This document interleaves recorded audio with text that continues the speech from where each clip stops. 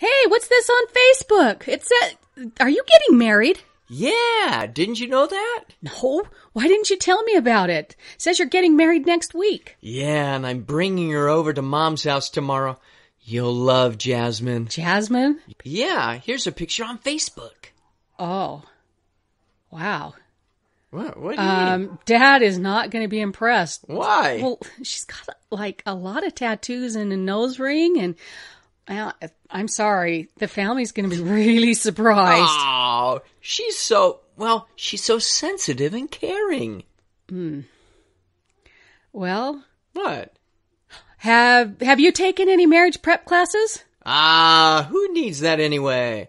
I know all about women. Yeah, right, like, What? you- well, what have you had? Like ten girlfriends in the last six well, months? that's different. That's Uh, listen, obviously you need to improve your communication skills.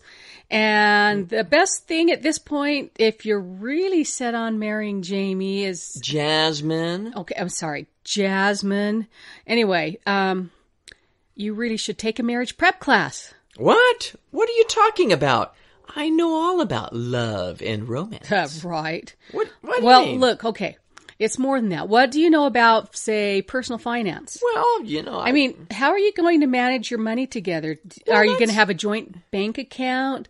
Whose salary is going to pay for the bills? Ah, no problem. Ah, no problem. We have that figured out. My paycheck is going to be automatically transferred to her overseas bank account.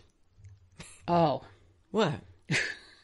uh, where exactly is this account? What's the name of the bank? Oh, I don't know. Jasmine's going to take care of that. Oh boy, right. Well, um, okay. What about children? Are you guys going to have any kids? Well, I want a large family, so eight kids would be just about right. Wow.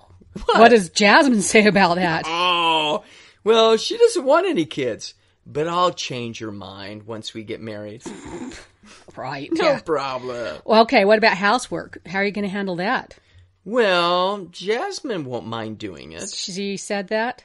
Well, not exactly. We've been just so busy planning out our honeymoon that we just haven't worked out, you know, these small details. Great. You know what? By the time you learn her last name, I think things are going to be over between the two of you. No, you just wait and see.